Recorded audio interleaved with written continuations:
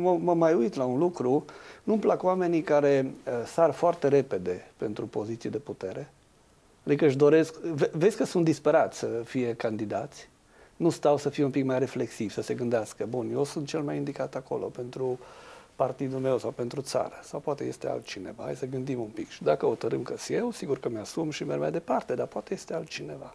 Și eu vă spun, și dacă o să vorbiți cu colegi eh, din sociologie, s-ar putea să vă confirme. Eu vorbesc ca psiholog.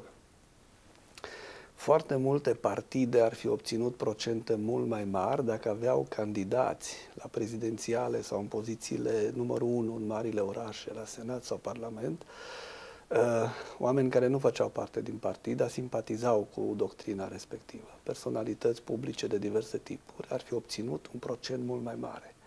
Dar fiindcă au fost prea disper... sau poate s-au temut că vor pierde partidul dacă aduc oameni de acest tip. S-au mulțumit cu puțin de dragul de a candida ei.